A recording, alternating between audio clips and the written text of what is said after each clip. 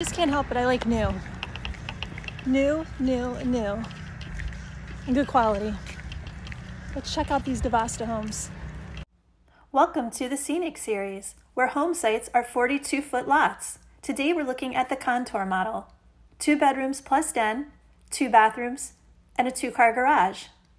These homes range in size from 1,405 square feet up to 1,561 square feet and the base starting price is $428,990.